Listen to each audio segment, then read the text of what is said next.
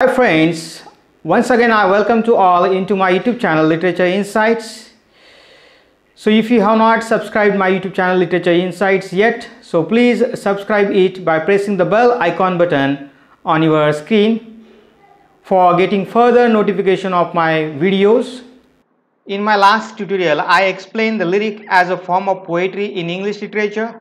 The lyric is a short poem which deals with single emotions and feelings with the help of musical instrument known as a lyre.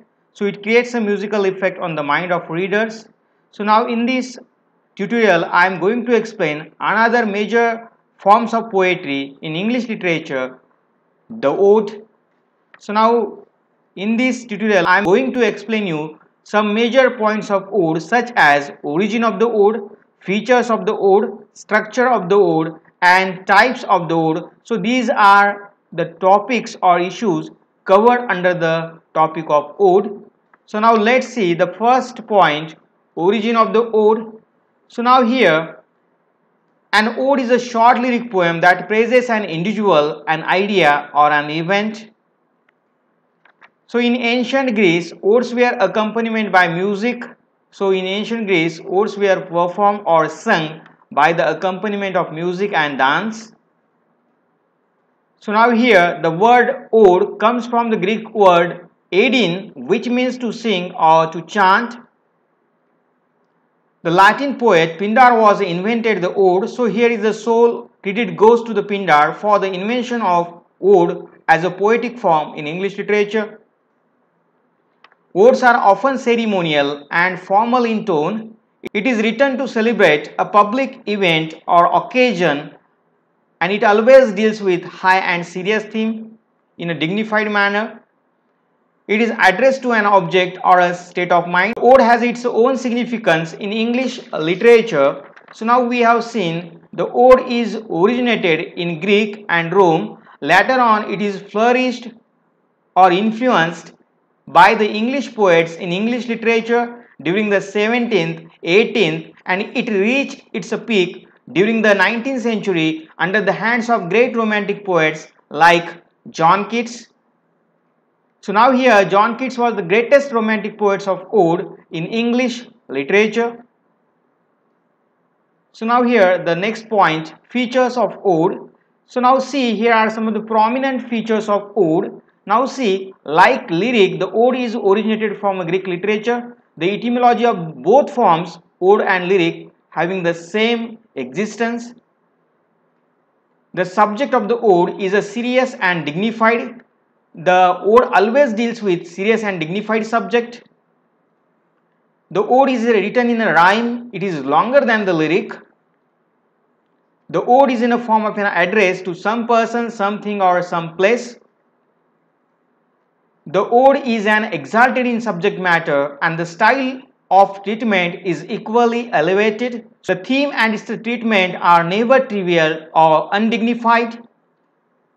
In ode, the poet is serious in the choice of his subject and manner of its presentation. So now here are the both things are important. The choice of the subject must be serious and its manner of presentation must be in a dignified manner. The lyric is an expression of single feelings or emotion whereas the ode is a development of that particular emotion or feeling. So to be continued with the same features of ode. So now see here the lyric is an unpremeditated art. So now here the lyric is an unplanned art. It is not planned before its composition. But the ode is vice versa. Here poet thinks a lot and meditates it and plan before its composition. The ode is addressed to its subject matter and the opening lines are in the form of an apostrophe.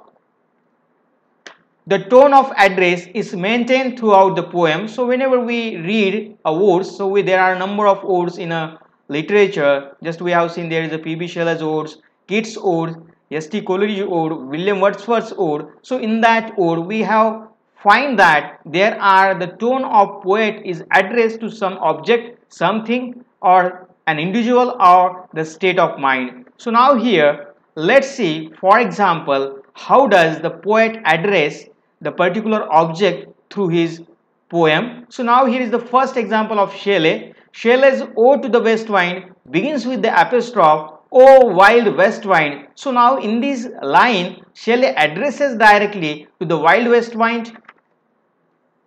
Then second example John Keats Ode on a Grecian Urn. So this poem begins with Thou still unravished bride of quietness. So now here the John Keats directly address to the newly bride.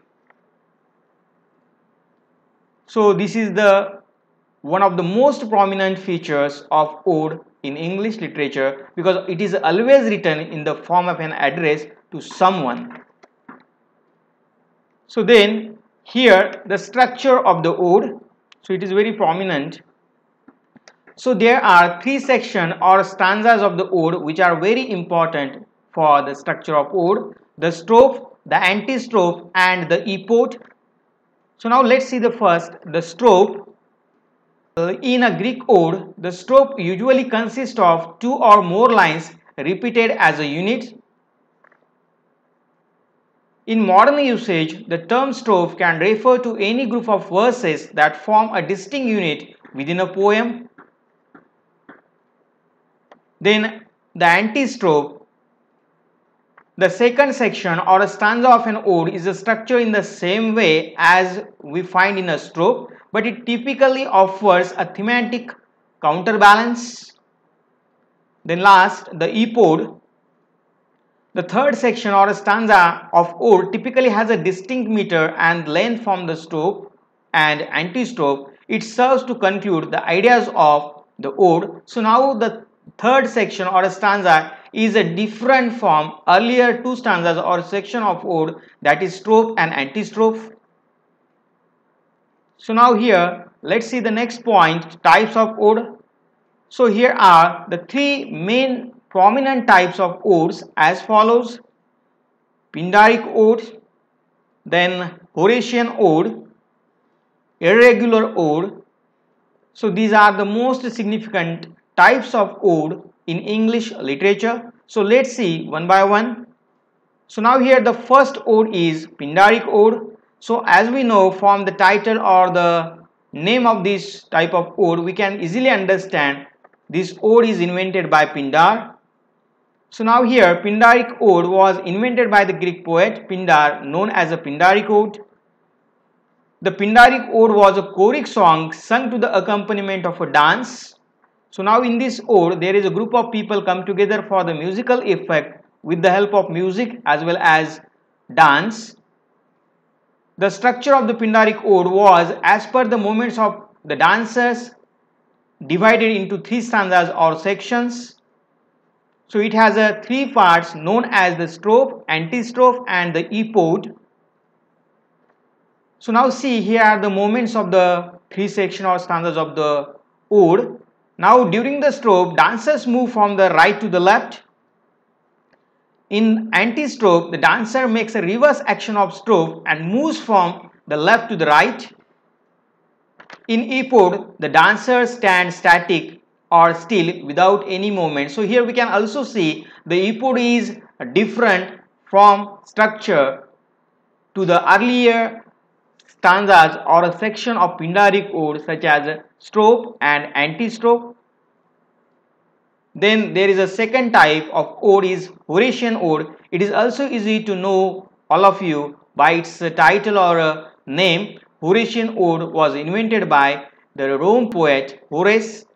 So now here Horatian ode was named after the Roman poet Horace.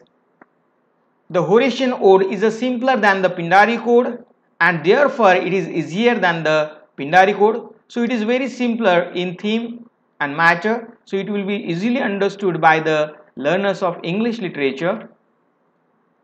The Horatian ode is written in a two lines or a four lines stanzas that share the same meter, rhyme scheme and length. So now it is written in couplet and quatrain sharing the same meter, rhyming scheme and length. Unlike the more formal Pindaric ode, the Horatian ode traditionally explores an intimate scenes of daily life. So in Horatian ode, we can find it is a different from the Pindaric ode. It deals with quotidian life and scenes of human beings.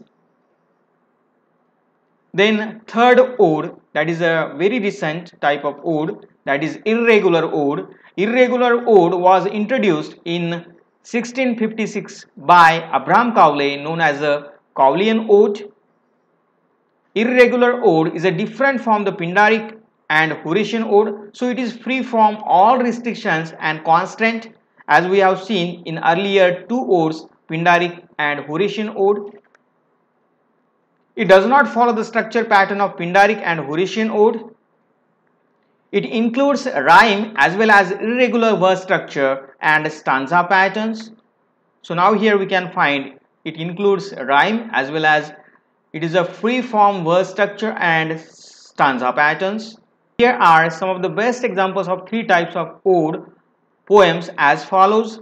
So now here first the first known odes written in English literature were the epithalamium and prothalamium by the Edmund Spenser. So now here the credit goes to the Edmund Spenser for the writing odes in a first in English literature.